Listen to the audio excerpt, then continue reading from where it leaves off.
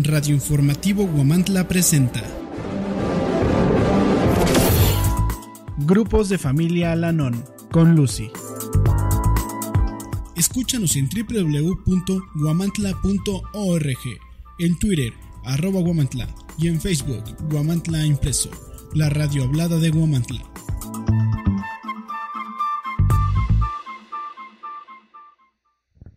Hola, buenas tardes. Aquí estamos nuevamente en nuestro programa Alanón Mensaje de Esperanza.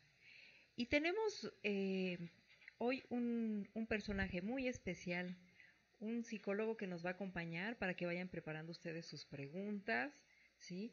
Eh, el psicólogo viene de, la ciudad de... hola, buenas tardes. Si gustas, si gustas presentarte, por favor. Él es José Ramírez hola, Ramos. Buenas tardes. Sí, servidor José Ramírez Ramos. Sí. Venimos de la ciudad de Tlaxcala para... Para presentarnos hoy el tema de cómo afecta el alcoholismo en la familia, ¿sí? Y ahorita nos vamos a adentrar en un momentito más. Eso les digo así como para que se queden en suspenso y vayan preparando sus preguntas. Y, estamos eh, eh, hoy, ¿sí? Quiero, quiero decirles a, a todos los radioescuchas que nos escucha, ahora sí que nos escucha, valga la pena, la redundancia, sí, que los grupos de familia Lanón son una hermandad de parientes y amigos de alcohólicos que comparten experiencias, fortaleza y esperanza con el fin de encontrarle solución a su problema común.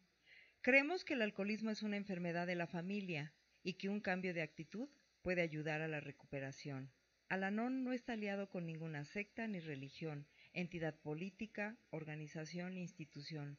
No toma parte en controversias, no apoya ni combate ninguna causa. No existe cuota alguna para hacerse miembro.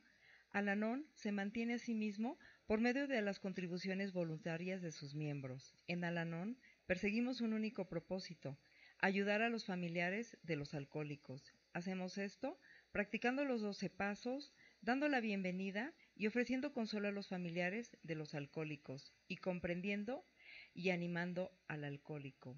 Pues fíjense el tema de hoy, que es alcoholismo contagio familiar, ¿sí? Y les voy a pasar unos números telefónicos para que eh, cualquier persona que diga, ay, es que yo quiero asistir a la NON y no soy de Guamantla, no soy de Tlaxcala, pero estoy aquí de visita.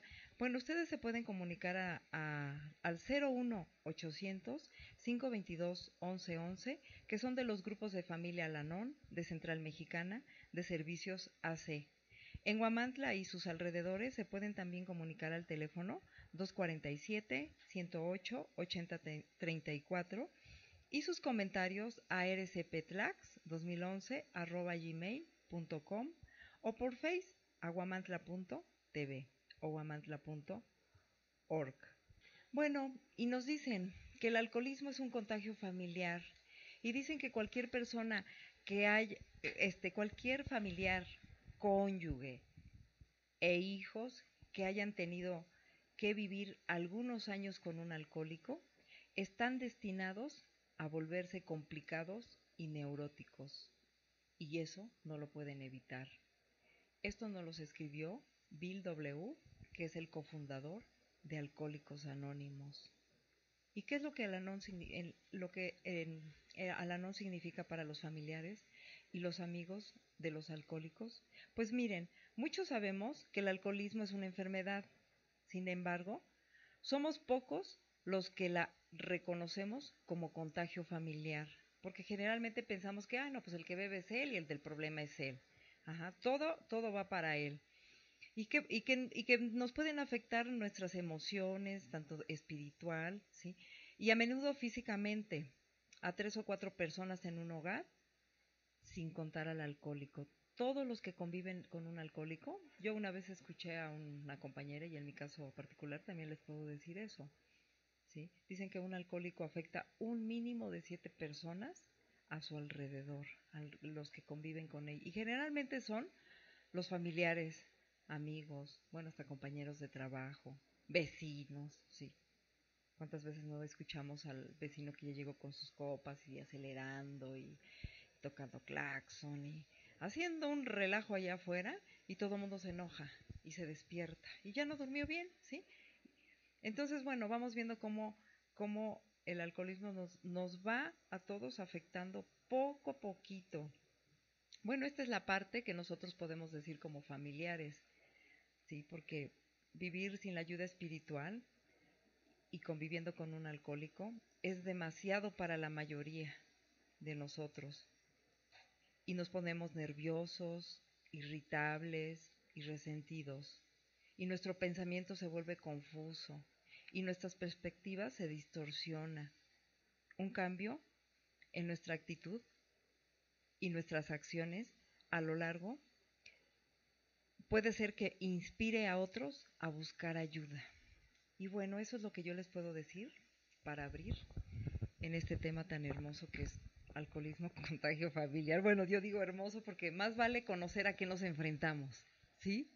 Sí, sobre todo, ¿no? Que el alcoholismo se puede decir que se considera como la moda.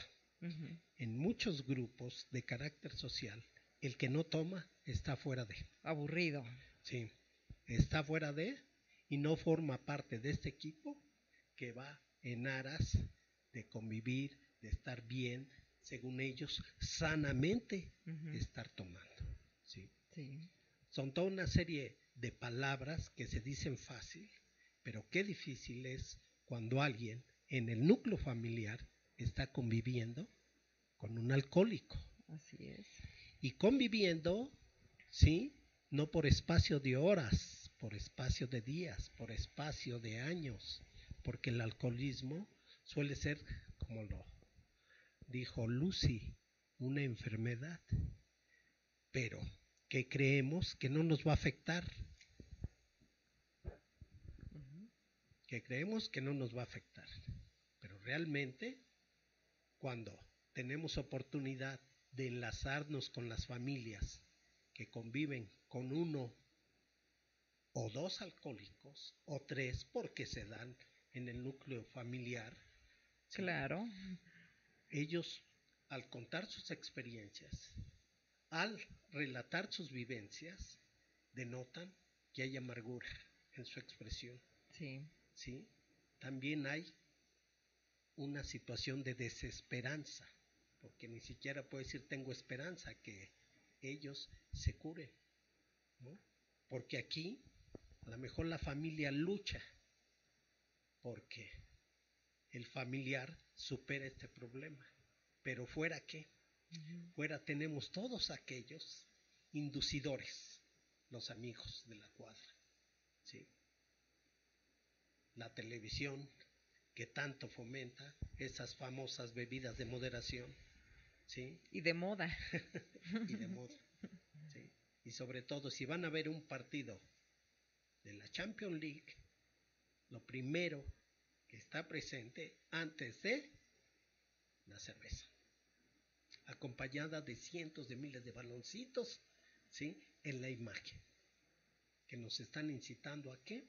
A que el partido se vive mejor y se disfruta mejor tomando. Y con una rubia, ¿no? Despampanante. sí, sí.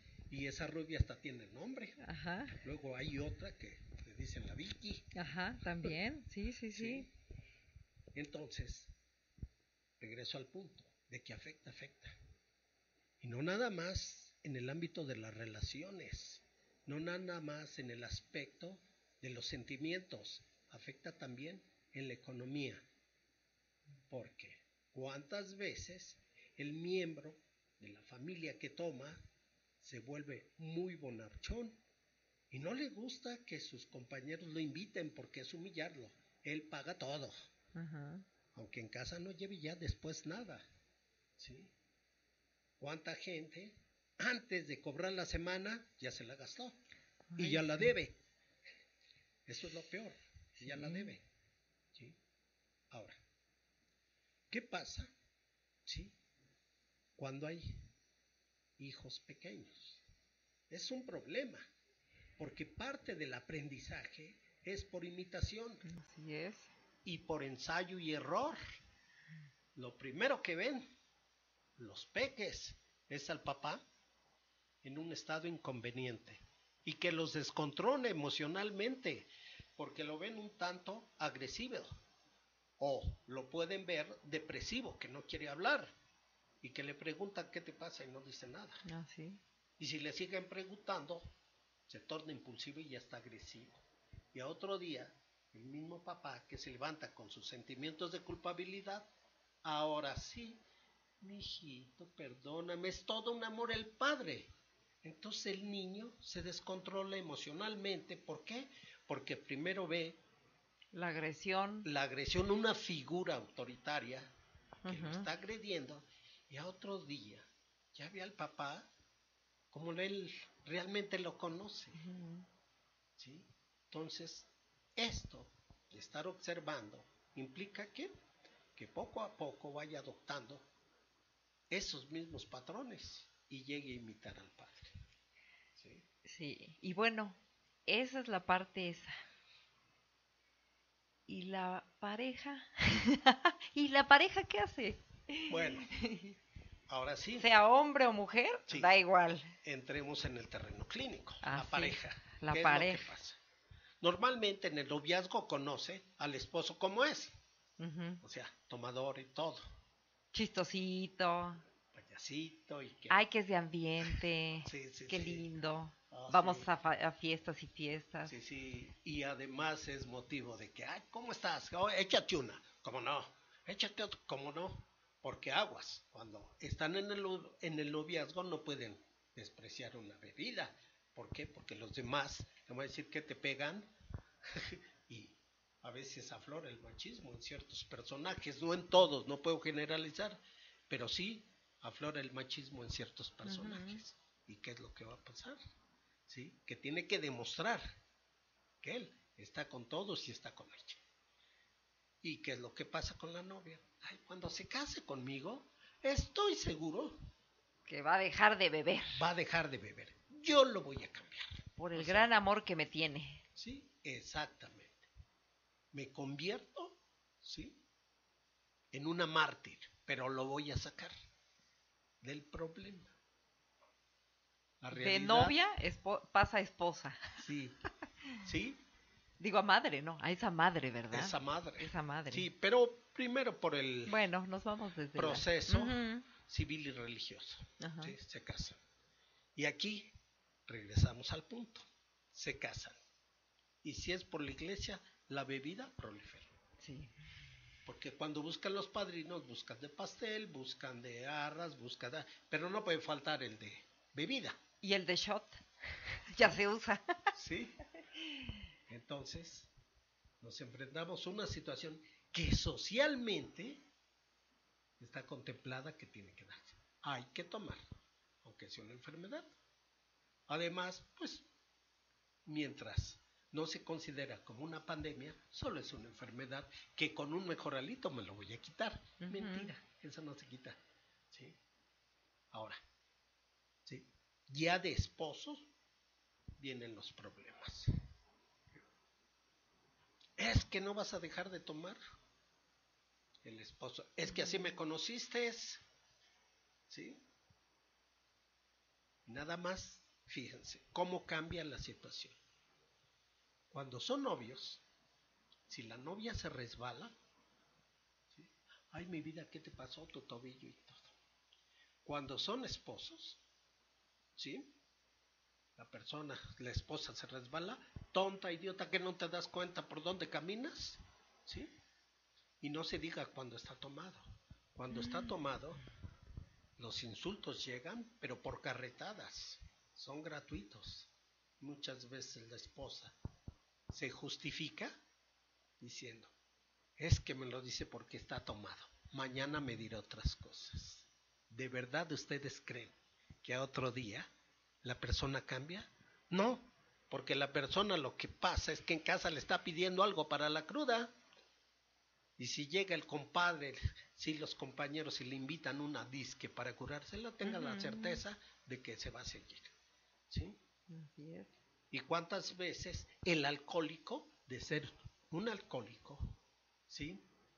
Social, ya se convierte en un alcohólico de vecindad, en un alcohólico de grupo. ¿sí? En un alcohólico problema. Problema. Y hay casos en que llegan a depender tanto del alcohol que en muchas poblaciones, ¿cómo se les conoce a los que ya no dejan el vicio? El escuadrón de la muerte. Ah, sí, cierto. Que las esquinas se ponen, ¿no? Sí, los famosos escuadrones de la muerte. Así es. Y todos los integrantes de ese escuadrón tienen una familia o tuvieron una familia porque ya fueron desplazados, ¿sí? O se salieron, porque se ahí salieron, nomás sí. no pueden conseguir lo que quieren. No pueden estar. Entonces, esto como tal, de que afecta, afecta. Ahora, muchas veces la persona busca ayuda, busca ayuda, pero carece muchas veces de la fuerza, porque aquí para buscar ayuda se necesita, por principio de cuentas, tener valor. Y segundo, aceptar que tiene un problema. ¿Sí? Aceptar que tiene un problema. Bueno, y generalmente aquí me dice que este la familia, generalmente la esposa o el esposo va buscando ayuda, ¿sí? Para él, aunque sea en alanón. Sí, Busca la ayuda siempre para él, Para no él. para ella. o- sí, pero ¿Verdad? hay esto, en la medida que él como persona se rehabilita, emocionalmente me va a beneficiar a mí. Y la busca, ¿por qué? Porque como mujer siempre busca El, el bienestar. el bienestar para los de afuera, ¿sí? Al final una madre, ¿sí? Siempre va a luchar porque el bienestar sea para los de afuera. Y si dentro de ese búsqueda, si dentro, si dentro de ese, ¿sí?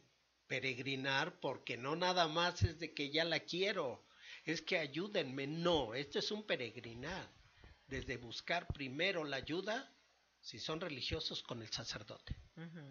¿sí? Pieza fundamental muchas veces en el equilibrio de la familia. ¿Y por qué el sacerdote? Porque va a manejar pláticas relacionadas con la fe. Y algo tan interesante, tiene que jurar. Y el juramento lo limita. A muchos alcohólicos un juramento, ¿sí? Lo limita en la ingesta del alcohol. Aguantan. Hay gente que aguanta uno, dos, tres años. Pero ¿qué es lo que pasa? Es una tregua, Ujú. porque nomás termina el juramento y ahora sí, A tomarse todas las botellas. como los borreguitos cimarrones, ¿sí? Se van echando para atrás, para Ajá, atrás. ajá. Y cuando se van para adelante, ataquen con más fuerza. Exactamente. ¿Sí? Llegan a ingerir alcohol con más fuerza. Mm. ¿sí? Hace años había un comercial muy, eh, muy ad hoc para lo que estamos hablando. Don Pedro Domé, que hoy ya no lo sacan, pero que decía, por barricas no paramos. ¿Y qué decían los borrachitos? Por barrigas menos. o sea, esto no se para hasta que se para. ¿Sí? Entonces, ¿sí? La esposa busca ayuda. Y esto es un peregrinar. Porque puede pasar de un lado, puede pasar del otro. Regreso al punto, es el sacerdote, el factor religioso que es bien importante. Y luego surgen asociaciones, ¿sí? Que predican que van a curar, ¿sí? A los alcohólicos. Y al interior lo que viven, Es otra Solo cosa. ellos lo saben. Y luego surgen ya asociaciones más ya de caché, de instituciones privadas, Oceánica, que al final nos ofrece las perlas de la Virgen con relación a lo que pueden ser por un alcohólico, pero una cosa es cierta, al interior no lo vemos. Sí. Y además llegar a Oceánica implica que, que todo lo que se ha gastado en borracheras el alcohólico sea nada más para su inscripción. Ajá, Carísimo. Sí. Carísimo, ¿no? O sea, Bueno, para quien tiene las posibilidades, sí, que son pocas, es muy caro. es muy caro, Entonces, ¿sí? Inclusive hoy hay un exboxeador, Julio César Chávez, que ya en Sinaloa y en esa zona del norte abli- a- abierto, Abierto. ¿sí? clínicas en contra de las adicciones, incluido el alcohol, el alcoholismo. Pero cosa curiosa, ¿no? Si uno se pone a analizar por qué las abrió, porque sus dos hijos Son alcohol. alcohólicos y drogadictos. Ah. Bueno, que para el caso es lo mismo, ¿no? Sí, La adicción es la misma. Sí. Cambia la sustancia, dicen, sí. nada más. entonces. Y sí, retomando lo que es, cambia la sustancia, porque al final, ¿qué entendemos por droga? ¿Sí? Es toda sustancia que es capaz de alterar el organismo. El alcohol y los demás este, enervantes te alteran, Así es. alteran tu organismo. ¿sí? sí. Ahora, en este peregrinar, ¿qué es lo que pasa? El alcohólico sigue su proceso, no lo deja. Mientras la esposa busca ayuda, él sigue teniendo más compañeros, porque esto, esto sí es contagio. en la esquina te encuentras 8 o 10 que están tomando, y en las siguientes dos esquinas te encuentras otro. Y si te vas a Tlaxcala, ¿sí? Los viernes, que es viernes de antro, todos Más. los antros están llenos de gente que está tomando bebidas y muchas veces adulteradas. No, y si no organiza su propia fiesta en su casa. Claro que sí. Sí, fíjense, con lo que dices, cosa curiosa, ¿no? Vienen votaciones, ¿sí? Viene la cuestión de que se prohíbe la ingesta de bebidas alcohólicas.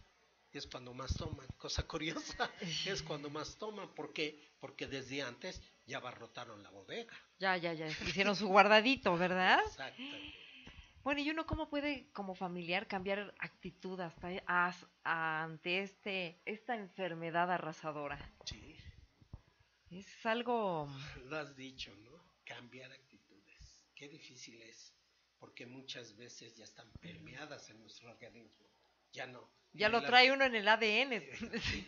Y sí hay un factor genético que puede desencadenar, sí, que puede desencadenar el hecho de la ingesta del alcohol o de otras sustancias, porque ya hay una predisposición y esta predisposición conlleva que si encuentras los elementos a tu alrededor, órale, Ya, de ahí son... ya de ahí surge. Un cambio de actitudes, como tú decías, es muy, muy, muy difícil. ¿Por qué? Porque ahora el alcoholismo ya forma parte de nuestro comportamiento. ¿Sí? ¿Quieres hacer un negocio? Hay que tomar y si no, no. ¿Sí? En ciertas casas donde existe la posibilidad donde existen muchas posibilidades, muchos de los que llegan a casa, una copita, dos y ya, porque dicen que eso no es ser alcohólico. ¿sí? Pero sí se inicia. Y cuando se dice un, un día, luego otro, luego otro, y así se va pasando, ¿sí? Es un alcohólico social, ¿sí? Porque sin eso no puede estar bien. Porque Yo- no se puede decir que no puede vivir sin eso, Sí. él no se siente bien. Sí, pero muchos, muchos de los que convivimos con familiares que beben, no todos vamos a ser alcohólicos, Claro que ¿no? Porque podemos llegar a tomar una copa o nada en la fiesta, o dos o tres, y no pasa nada. No, no tenemos esa, no se tiene esa, este, eh, esa desesperación de seguir bebiendo. La ansiedad. La ansiedad, ¿sí? No es parte de muchos familiares. ¿sí? Algunos sí son parte, dicen, Sí. ya la bebí y de aquí soy. Pero muchos que, Mm. que convivimos con, con personas, entonces ahí es donde uno dice, ¿debemos servir o no debemos servir bebidas en la casa si tenemos familiares alcohólicos? Ahí, sí. ¿A qué estamos invitados? Ah, perdón, ¿a qué? ¿A qué? Estamos invitando e incitando a la persona. Si yo invité a comer, que comida, no bebida, ¿sí? sí. Así es. Pero es algo difícil de desarrollar. Sí. Porque la bebida forma parte de la comida. Así es. Sí, la bebida forma parte de la comida. Bueno, fíjese, este, Doctor, que yo le puedo decir, en mi caso particular, el día que me decidía que no iba a haber alcohol en mi casa, no hubo. Hice comida. No, pero es que viene no sé quién de no sé dónde a visitarnos. Lo siento, pero en mi casa no va a haber alcohol, va a haber comida. Pues qué aburrido. Perfecto, que coman y se vayan. Sí, al final iban por la comida, Sí, no es- por la diversión. Sí, sí, sí, sí. Al final de cuentas, se salieron a comprar algunas bebidas, pero bueno, ya no fue, ¿sí? Ya no fue tan desde el principio el sí. alcohol y se fueron inmediatamente, porque pues como yo puse algunas veces, digo, los familiares ponemos algunas reglas un poco duras, Sí. ¿verdad? Pueden, pueden parecer duras para los familiares que beben, pero pues al final de cuentas, si la pareja es pareja, ¿verdad? También tiene mando, Claro. ¿verdad? Tiene votación, ¿verdad? Y además, como pareja, sí, están obligados a que las reglas las tenemos que respetar ambos. ¿Sí? Así es. ¿Por qué? Porque desde ese momento, ¿sí? Estamos conscientes de que si jalamos parejo, las cosas pueden resultar bien. Y, y como familiares, van creciendo los hijos y todos en un hogar, lo que llaman, ¿sí? Los profesionales disfuncional. ¿sí? Sí. Porque lo que debe de funcionar, la mamá que debe funcionar, ¿sí? Eh, el papel de mamá pasa a ser hija. El papá pasa a ser la carga. bueno, el que bebe, ¿no? Que bebe. El que bebe. En algunos casos es el hijo también. Sí, Entonces los papás no saben ni qué hacer con esa problemática, porque a lo mejor el papá no es alcohólico ni la mamá. Y el hijo, yo he visto a, a- a compañeras de la agrupación sufrir mucho cuando el hijo es alcohólico. claro. ¿sí? Yo en mi caso particular no puedo decir eso. ¿sí? No puedo decir eso porque puse reglas muy Estrictas. estrictas en la casa que no quería alcohol y el que llegara tomado agarraba sus cosas y se va para afuera. Ajá. Entonces, pero yo veo que a, a personas les cuesta mucho trabajo esa parte, ¿sí? Y, tienden a ser como que las niñas.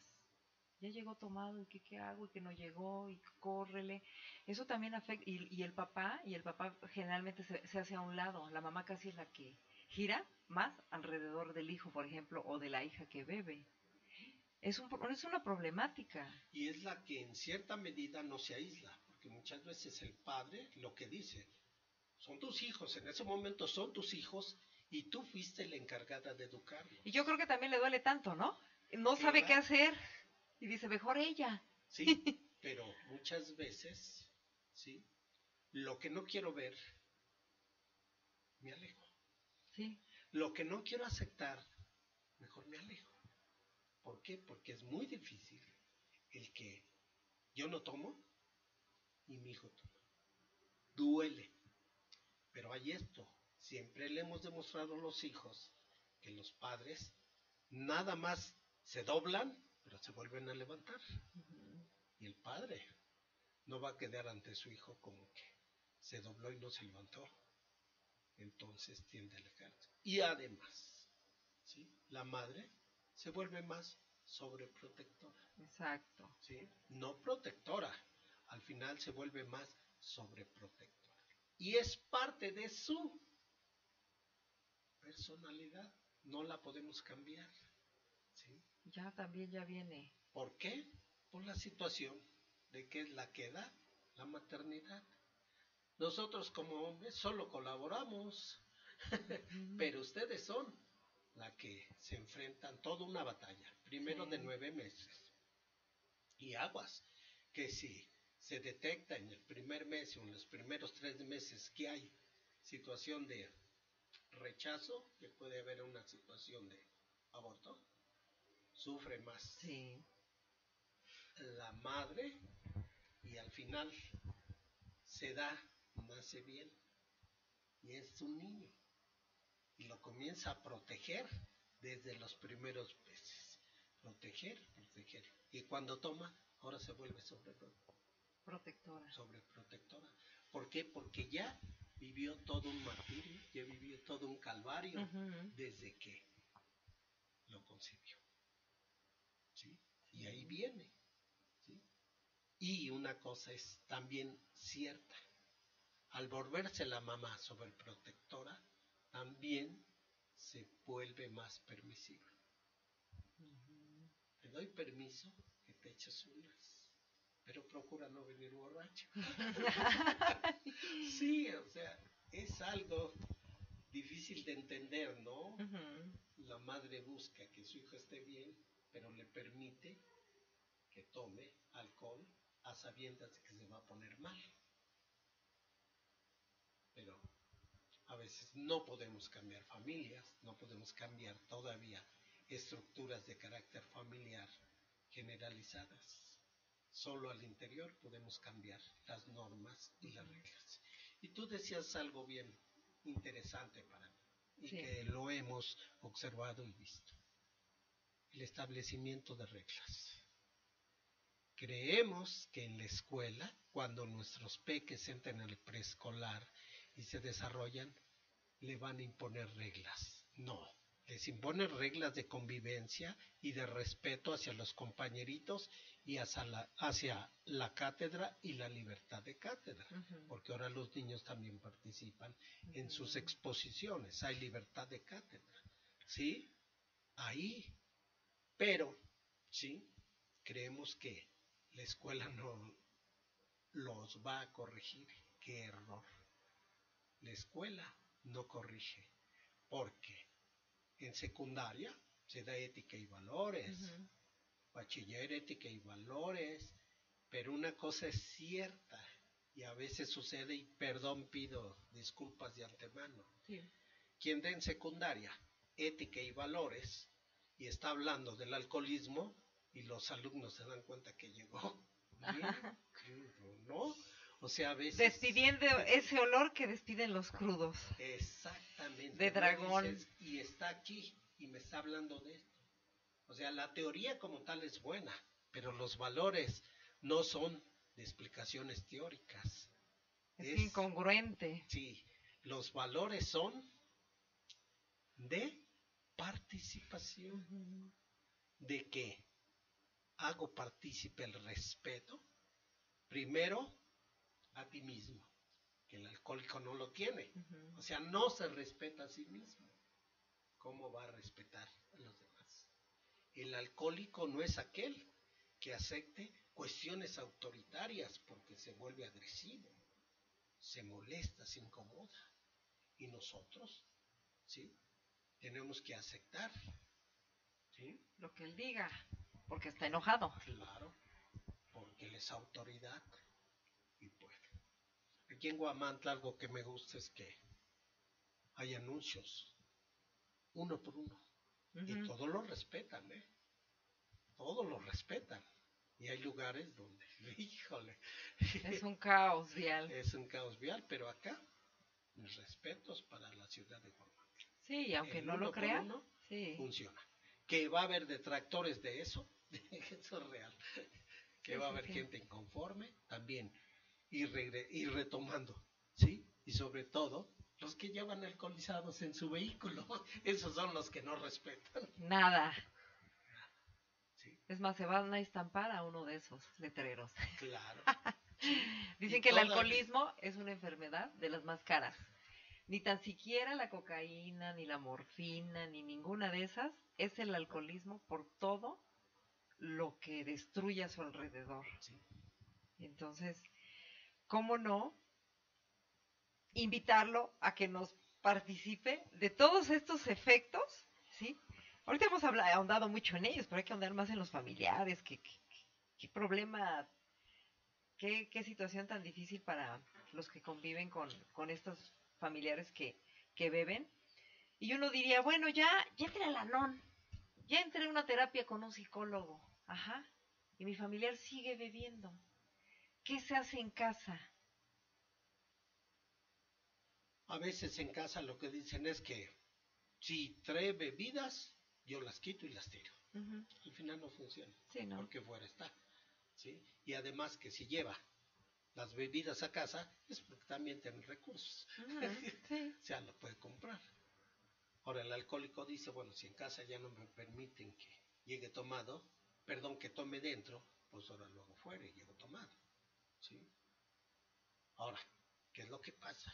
ya en el proceso de desarrollo de la personalidad de los niños. Sí. No es justo, tampoco es humano, que vivan todas las noches con el terror de que mi papá va a llegar borracho, me va a gritar, me va a pegar y todo. ¿Cuántos niños no se esconden abajo de la cama? Sí. O sea, realmente te dicen, ¿no? O se van a la casa de la abuelita, del tío, de Del alguien. tío. O sea, al final, Y ellas se están arriesga- arriesgando a otras situaciones, ¿sí? Que a lo mejor sean peores que Que las de su que- casa. que las que su casa. Pero es el pánico, ese terror, esa ansiedad, esa angustia. Porque una cosa es cierta, a lo mejor el sentido del horario, nuestros peques de 3, 4 años no lo tienen tan bien establecidos. Pero sí saben a qué horas va a llegar el papá. Y también saben que si llega tomado, ¿qué es lo que va a hacer? No, y ven la actitud de la mamá, De la mamá. de la cuidadora o el cuidador, cómo se pone de tenso. Ya no le llamemos neurosis, pero para que no sientan tan feos los radioescuchas. Sí, sí. ¿Cómo no? Neurosis de ansiedad. Sí, Y nadie te la va a quitar. No. Porque la estás viviendo y la tienes ahí. y la contagia, ¿no? Claro. La esposa contagia, canijo. ¿Por Yo- qué? Porque está transmitiendo sus, sus emociones y los demás le están percibiendo. Exacto. ¿sí? Es como cuando aquella persona que quiere estar sola y llega alguien de fuera y dice, ¿qué tienes? ¿Estás enferma? No, no estoy bien. Y el otro, ¿qué tienes? ¿Qué te pasa? ¿Te llevo al médico? No, estoy bien, nomás quiero estar ahorita tranquila y todo. Llega un momento que tanto le preguntan que la persona cuestionada se levanta y dice, ¿sabes qué? Ya está acá. Quería tener mi momento para mí, pero no me lo permitiste. Se vuelve neurótica. Ajá. ¿Sí? Y no se hizo, la hicieron. ¿Sí? Eso es lo curioso. La hicieron. El alcohólico también lo hicieron.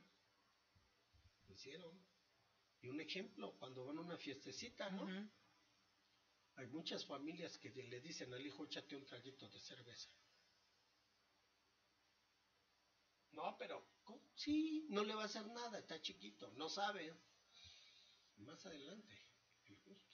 Ahora hay comunidades que por necesidad toman sobre todo el alcohol. Perdón, el pulque, El pulque, ajá. porque no hay agua. Ah, ¿sí? En el campo. Sí. Por eso ya regresan los del campo bien rojos. Sí. Alegres. alegres y dicen, bueno, ¿qué? Es una necesidad, el cuerpo necesita del líquido, no lo tiene, se muere, se deshidrata. Y los niños comienzan la ingesta del pulque, ¿sí? En un proceso normal en esa comunidad, que después, si les gusta, lo van a cambiar por la cerveza y luego ya por el terminan con su tonayán, como yo quise. Bueno, y volviendo a las a los familiares, ajá. Ya la mujer ya se hizo neurótica. Sí. ¿Y sus retoños? ¿Mm? ¿Y sus retoños son neurotiquitos? No, comienzan a tener qué? Problemas en la escuela. Ah, O sea, baja en las calificaciones. ¿Por qué? ¿Sí? Vamos a una parte, ya Piaget. ya, Sí, pero vale ujú, Hay dos procesos que nos señala Jean Piaget. La asimilación y la acomodación. El niño llega a la escuela, está viendo al maestro, ¿sí? que está haciendo, exponiendo. la- Pero si para el niño la experiencia en la noche fue dramática, ¿qué es lo que está pasando? Asimiló lo que vivió con el papá. No está asimilando lo que está viendo. Solo asimiló lo que y ya lo acomodó aquí en el cerebro. Asimilación y acomodación Ujú. y va a encontrar el punto de equilibrio con cuando saque todo aquello. que está. Entonces, ¿cómo queremos que aprenda si lleva experiencias emocionales dolorosas, ¿sí? Y que están presentes a nivel de pensamiento. Y aparte dolorosas de los seres que él más ama en esta vida. Y además, el papá es Superman, ¿sí? Sí, Superman. Y la ¿no? Mujer Maravilla, la mamá. Sí. Sí. Entonces, ¿qué es lo que pasa? Esos ídolos emocionales que nos permiten que nuestra personalidad crezca, que vienen abajo. Entonces, al final están como gusanitos todos pisoteados por el padre que les está haciendo Las calificaciones. Muchas veces también, ¿qué es lo que pasa con nuestros niños? ¿No quieren comer? Dice, bueno, pero ¿por qué no quieren comer? La experiencia vivida y tan desagradable que tienen en la mente supera su necesidad fisiológica de comer. ¿Qué es lo que pasa? Por las noches, ¿sí? Tienen pesadillas, tienen insomnio. Sí. sí. Y todo esto, regreso al punto, se ven las calificaciones. Es ahí lo doloroso de estas situaciones que provoca no el alcoholismo, seamos reales, el alcohólico. ¿Sí? El familiar alcohólico. Sí. Y luego, y luego también, este, yo aquí leo que, que me dice que igual, el niño está así, pero también el niño luego se vuelve obsesivo. Se puede volver obsesivo en la escuela igual. Sacar 10, cuadro de honor, menciones honoríficas, cosas de esas, ¿sí? Destacar, destacar, ¿sí? Es como una fuga, ¿no? Es que, ¿qué es la obsesión? Una idea fija y persistente a nivel de pensamiento. Por eso sí habla en situaciones de carácter psiquiátrico, neurosis obsesiva compulsiva. Sí, que es la obsesión, una idea fija y persistente ¿sí? a nivel de tu cerebro. Y ya la compulsión ya es el acto como tal. Cuando encontramos un alumno con estas características, ¿qué es lo que pasa? Tiene que sacar eso, eso le sirve de equilibrio. Es el punto de equilibrio. Lo tiene que sacar. Al final, la mayoría de seres humanos buscamos equilibrios para qué? Para poder sobrevivir en esta jungla de asfalto. Sí, yo he escuchado en los grupos de AA, por ejemplo, que dicen, la esposa de un alcohólico, ¿sí? Es la neurótica perfecta, ¿sí? Para el alcohólico. Y como nos decía W. Bill, ¿no? Tan solo con unos, unos meses, unos años, una temporada que una mujer, una persona conviva con una persona alcohólica, y es una neurótica, ¿sí? Eso es muy triste. y sobre todo, ¿sí? dejemos a un lado las tristezas, ¿no? Al final, la esposa es neurótica. Sí. Sí, pero tiene detrás de ella mucha cola. Están sus hijos, ¿no? Hoy en día vivimos a una situación de caos, ¿no? Social y dejemos a un lado las cuestiones de carácter. Vivimos una situación de caos. ¿Qué le vamos a dejar ya no nuestros hijos, porque a lo mejor ya crecieron, como dicen, Blancanieves se casó y los siete enanos crecieron, estos ya crecieron, a los nietos. ¿Qué les estamos dejando? ¿En dónde? ¿Sí? El matar es sinónimo de heroísmo. Y nos los pasan pero con ganas, ¿eh? Sí. Donde caray, un narcotraficante es más popular. No, y los juegos luego de videos, ¿no? De los niños, igual que van. Sí, luego los llama uno, vete a comer, nomás mato tres y ahorita voy. Sí. sí. Entonces, ¿cómo puedo, cómo puede una madre ayudar a esos hijos? Bueno, nosotros en Alarón tenemos a Latín, que es para los niños de 10. Sí a 19 años. Pero una persona normal, ¿qué puede hacer? Pues ir a buscar ayuda a neuróticos anónimos. O sea, no hay más, porque en la medida que saques todo eso que tienes dentro, vas en una situación de escape y te va a ayudar. Pero también en Alanón decimos, pues ya, ya los que van a Alanón son neuróticos. ¿Sí? Porque tienen convivimos, convivimos con una persona que bebe. Ajá, somos neuróticos. Entonces, ¿cómo saber qué grupo, a qué grupo pertenecer? ¿A dónde ir? ¿A dónde ir? ¿De neuróticos anónimos? ¿De neuróticos anónimos o de Alanón? Sí. al principio lo decíamos. Ajá. Para ayudar, la esposa, el esposo, es un peregrinar. Ah, ajá. Para buscar la mejor ayuda también es un peregrinar, porque una cosa es lo que nos oferten y otra cosa es lo que vivas al interior. ¿Sí? Lo que me quede, ¿no? Bueno, porque yo le voy a participar, que yo en hace muchos años, bueno, hay muchos años, ¿no? Bueno, hace algunos años. O sea, dos o tres. No, no, no, muchos años. 20 años Sí. poco. No, no, no, no, no, no. Este, no, hace muchos años pensaba, lo primero que fue, hice fue eso, ir al sacerdote. ¿sí? El sacerdote de buena onda fue a mi casa. Ahorita lo vamos a, vamos a hablar con él y que no sé qué. El sacerdote no, sé, no sabía qué enfermedad se enfrentaba. Sí. Me dijo un día, no puedo hacer nada. ¿Sí? Entonces yo dije, puta, si ya no pudo él, ¿qué hago? El peregrinar sí es largo. Sí es largo, de verdad. Porque dice uno, bueno, si él está mal, ¿qué hace uno para encontrar esa ayuda idónea? Bueno, en mi caso particular, alguna vez me invitaron a un curso un, un amigo y me dijo, tú tienes que ir a la NON. Vente este, curso, pero después te vas a la NON. Sí, sí. ¿sí? Porque él es, él es drogadicto, ajá. Alcohólico, drogadicto y de todo. Entonces te dijo una frase bien interesante. Cuando el alumno esté preparado, el maestro aparecerá. Primero te vas a este curso y luego te vas a la no, porque ahí están los maestros. Aquí, cuando el alumno esté preparado, el maestro aparecerá. Sí, ¿verdad? Dicen que nadie llega antes ni después a una recuperación, sea de la que sea. Ajá. Bueno, fue mi momento. Gracias a ese amigo, llegué, entendí, entendí que tenía que asistir. Y comprendiste que tenías una función. Sí, ¿Qué hacer?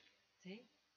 Muy difícil, ¿verdad? Es muy difícil toda la recuperación, pero es muy tranquilizante para los familiares que convivimos con personas que beben. Muy tranquilizante porque todo eso que platicamos ahorita de la familia disfuncional, de los hijos que están muy, muy aterrados, muy Sí, sí, alterados, tanto también físico, mental y espiritualmente igual. Poco a poco yo le puedo platicar nada más de mi caso.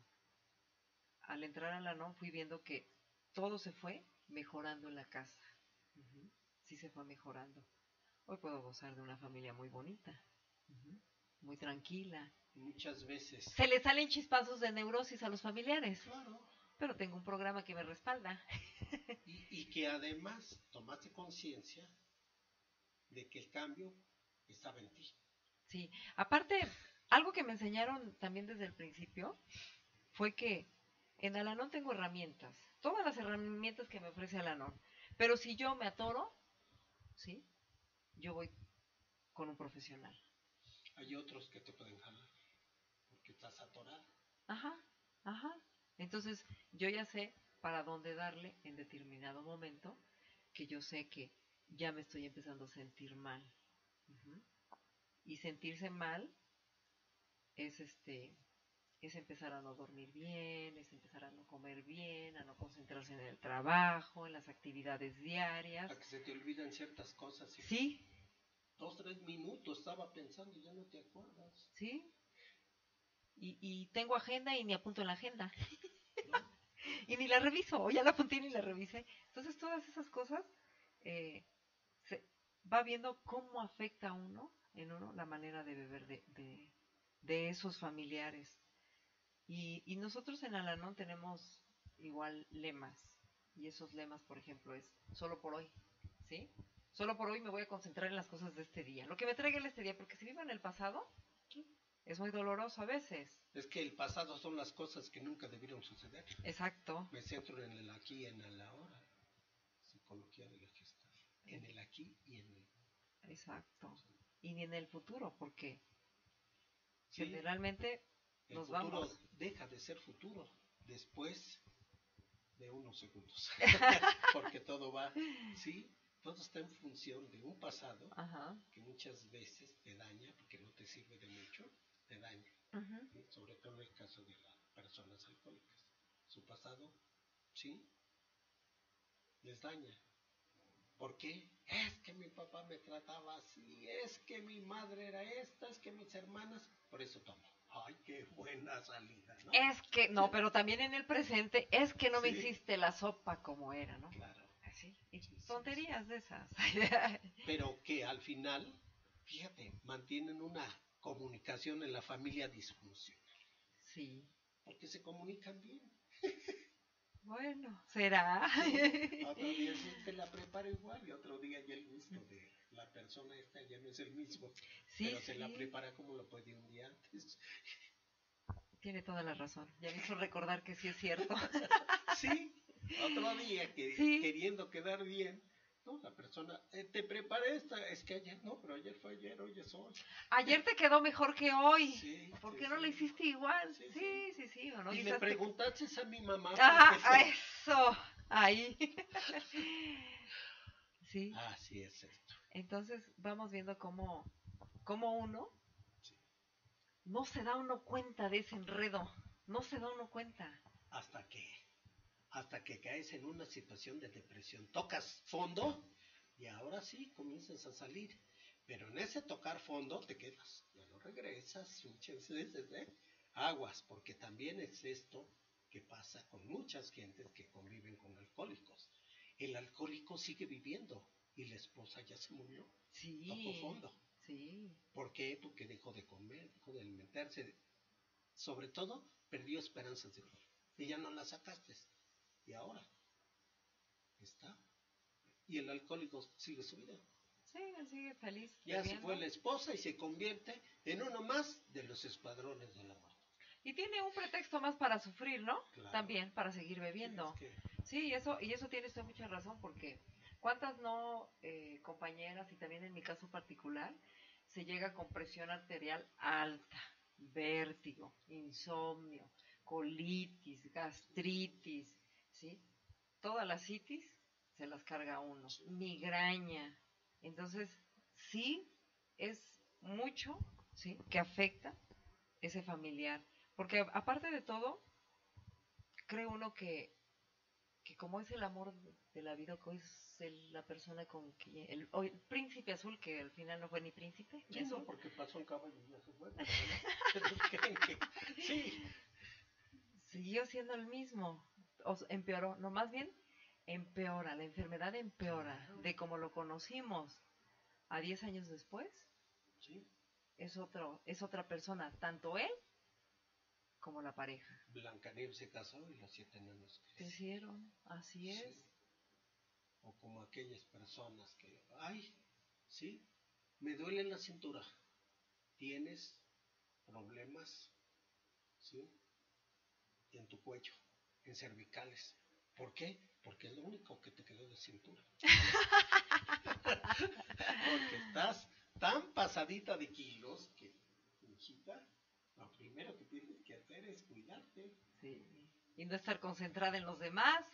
Claro que para eso hay que buscar ayuda, definitivamente. Y mira, la ayuda la podemos encontrar en muchas partes. Para dejar el alcoholismo, así como somos obsesivos para tomar, debemos ser perseverantes para curarnos. Bueno, pero ese es en el caso de ellos. Sí. Pero así como nosotros también fuimos, somos obsesivos para cuidarlos, hay que tener el tiempo, ¿sí? Para cuidar de nosotras mismas. Ah, lo más ¿sí? importante. Eso. En la medida que yo estoy bien, los demás estarán mejor y me verán mejor. Sí, como leí hace un rato, ¿no? Este, un cambio de actitud mía puede ser que la situación en la casa se mejore. Claro. Entonces, yo he visto que sí. Bueno, en mi caso particular, nah, no, no, no. Al 99% yo digo porque de repente hay un chispazo de neurosis, Sí. tanto de acá como de allá, Bueno, pero segundos. sí. Son segundos, ya no son días, sí, ni horas, ni... No, no, no, ya. Es tipo rayo. Te explota, estalla y ya después ya. Ya, o sea, ya, ya. Un, flecha, un flechazo de que, Sí. sí, cierto, hay enfermedad aquí, aplícate, ¿verdad? Pues ojalá y las personas que nos estén escuchando les haya llegado un poquitito hoy eh, algo que, que les queremos compartir para que podamos vivir mejor, porque en la medida que nosotros empecemos a- empezamos a aplicar eh, un poco de, recuperación, ya sea profesional o grupal, terapia grupal, como decía Benjamin Franklin, eh, cada quien puede hacerse, cada quien eh, puede hacerse feliz siempre y cuando uno quiera. De uno depende la felicidad que uno quiera. Cada quien ama y sufre en la medida que quiere. Exacto. Eh, uno es, ¿sí? El ombligo del mundo, ¿sí? Cada quien ama y sufre en la medida que Pero el ombligo del mundo para bien, ¿no? Porque claro. que se creen el ombligo del mundo para que los atiendan. Sí, pero es este. Sí, sí. O sea, he visto, o sea, personajes egos. sí. pero estamos hablando de gente normal, como y corriente. Sí. O sea, somos el ombligo. No, los demás es, es de otra élite. Y yo terminaría con, sobre todo para las familias de que están sufriendo esta enfermedad. Todos tenemos una misión que cumplir en esta vida. Si estamos vivos, es que no le hemos cumplido. ¿Sí? Ponte las pilas y deja de sufrir. Exacto. Ay, sí, muy bien, ¿eh? Ojalá. Hay que grabarlo, hay que apuntarlo, ¿verdad? Bueno, lo pueden escuchar después. Este, si se meten a la página guamantla.org, podrán ver que ahí están todos los programas y este también. Y pues le, le, le, quiero agradecer muchísimo a nuestro invitado, al psicólogo José Ramírez Ramos, que es egresado de la Universidad Autónoma de Puebla. También le quiero agradecer mucho aquí en nuestra casa emisora, a los compañeros de cabina, ¿sí? Y sobre todo a ustedes por seguirnos, ¿sí?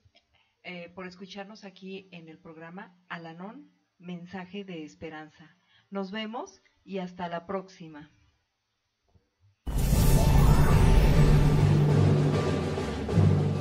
Radio Informativo Guamantla presenta Jardín del Arte con Nacho Radio Informativo Guamantla. La radio hablada del pueblo mágico de Guamantla. Transmitiendo desde Juárez Norte número 215 Interior 13. A través de la frecuencia digital de guamantla.org. Línea telefónica 241 137 2697. Una nueva alternativa en radio virtual. No dejes de ver la transmisión de Informativo Guamantla, las noticias más relevantes de Guamantla, lunes, miércoles y viernes en punto de las 20 horas 8 de la noche, a través del canal 9 de Cablecom.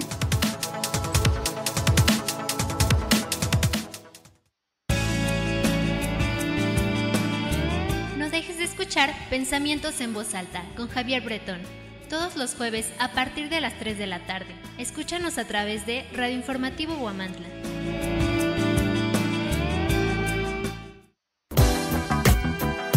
Maquiagro, distribuidor autorizado de la marca Steel. Contamos con maquinaria y accesorios para la agricultura, trabajos forestales, poda de árboles, construcción y jardinería. Nos encontramos en Matamoros Oriente, número 201C, en Guamantla, Tlaxcala. Contáctanos al teléfono 247 47 21901. Maquiagro. En Restaurant Bar El Convite disfruta de los mejores platillos con el auténtico sazón que nos caracteriza y que al probar te encantará. Come delicioso en el mejor lugar de Huamantla, con el menú del día y a la carta que tenemos para ti, de lunes a viernes. Sábados y domingos disfruta de los antojitos mexicanos a partir de las 8 de la mañana. Nos encontramos ubicados en Boulevard Luis Donaldo Colosio, número 115, en Colonia Santa María, Yancuitlalpan, frente al Toro. Llámanos al 247 47 265 44. Restaurant Bar El Convite, un festejo al paladar.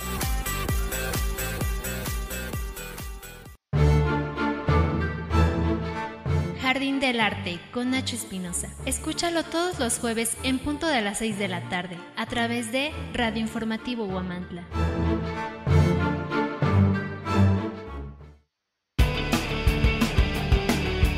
No dejes de escuchar todos los miércoles a partir de las 5 de la tarde Fútbol y Música con Gio a través de Radio Informativo Huamantla.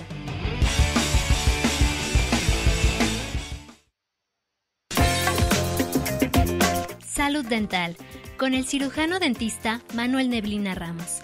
Escúchalo todos los miércoles a partir de las 3 de la tarde, a través de Radio Informativo Huamantla.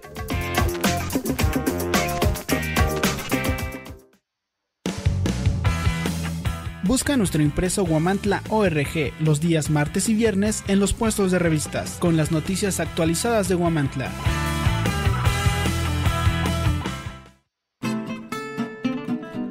Taller de Tareas, tus peques están en buenas manos, con atención personalizada y profesional Visítanos en Hidalgo Poniente, número 301, Colonia Centro, en Huamantla, Tlaxcala. Ofrecemos terapia de lenguaje, regularización a niños de todas las edades. Además, atendemos problemas de conducta, niños con déficit de atención e hiperactivos, niños con autismo, enseñanza en áreas como matemáticas y en lectoescritura. Pide informes al número 247-101-5936 o al 472-4474. Taller de tareas.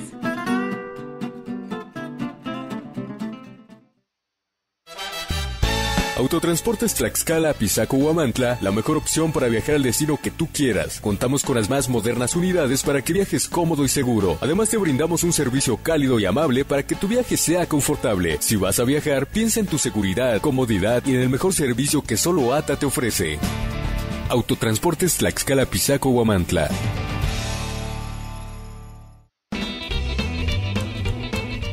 De salud con el químico farmacobiólogo Lorenzo Reyes. No te lo puedes perder todos los miércoles a partir de las 6 de la tarde. Escúchanos a través de Radio Informativo Huamantla. ¿Necesitas enviar un paquete? Esta feta es la solución. Servicio de mensajería y paquetería. Además, contamos con empaques, artículos de oficina y regalos. Visítanos en Matamoros Poniente, número 108A, Guamantla, Tlaxcala. Comunícate con nosotros al 247-47 265-49. Estafeta, servicio de mensajería y paquetería.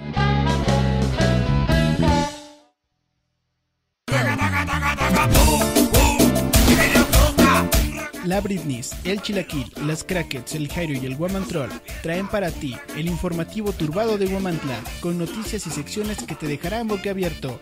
Escúchalo solo aquí, en Radio Informativo Guamantla.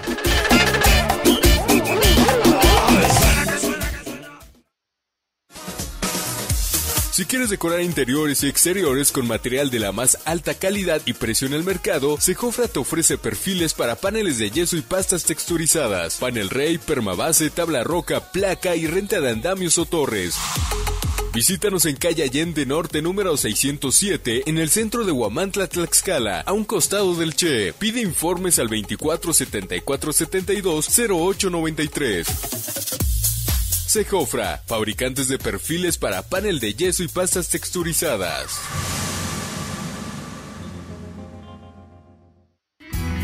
Cirujano dentista Manuel Neblina Ramos, certificado por el Colegio de Estomatología del Estado de Tlaxcala, Colegio Nacional de Cirujanos Dentistas por la Asociación de Odontología Restauradora AC.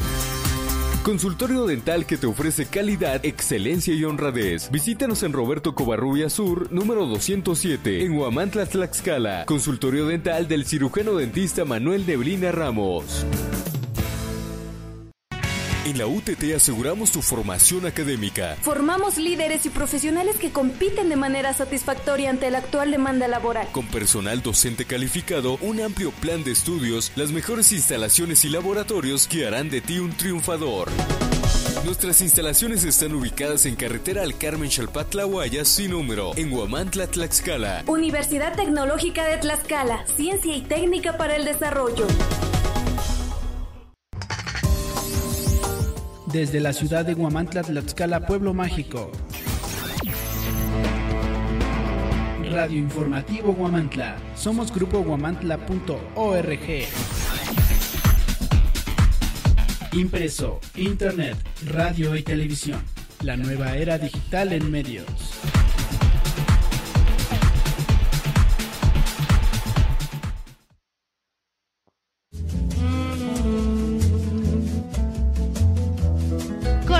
Choripán, vino y más.